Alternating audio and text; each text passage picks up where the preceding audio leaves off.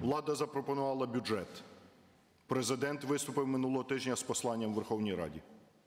Ні послання, ні, ні послання президента, ні бюджет, запропонований урядом, не дають відповідей на виклики, перед якими стоїть країна.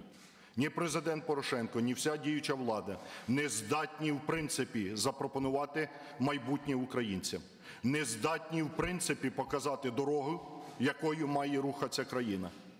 Якщо для президента Порошенка головні виклики це популізм, це вибори, це дестабілізація, то для нас головні виклики це безробіття, безгрошів'я, розвал країни, до чого привела політика президента і нинішньої влади.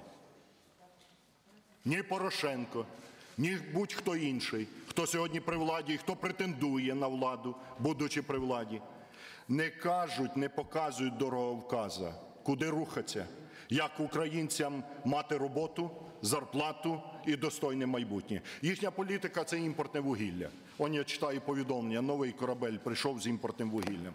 Українські шахтарі без роботи, а ми закуповуємо імпортне вугілля, імпортний газ, імпортну нафту, імпортні нафтопродукти, а потім говоримо про безпеку держави.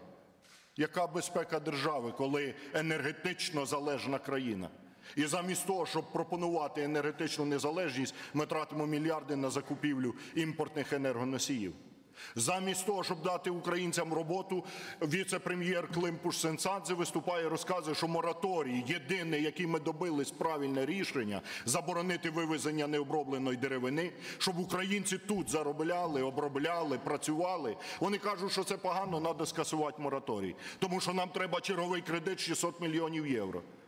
Замість того, щоб змінити монетарну політику, грошово-кредитну політику, дати власному бізнесу дешеві кредити, дати можливість безплатного підключення до енергомереж, підтримати експортно-кредитне агентство, підтримати індустріальні парки, масштабну модернізацію основних фондів, зниження енергозатратності. Нам кажуть, давайте набиратись кредитів і давайте проводити приватизацію. От на чому формується бюджет.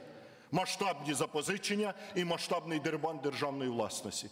Радикальна партія пропонує альтернативу. Це економічне зростання через створення нових робочих місць для українців, через е, модернізацію, через е, щоб заробляти, заробляти, а не побиратись. Ми дали вам план. Давайте голосувати і підтримувати, а не побиратися.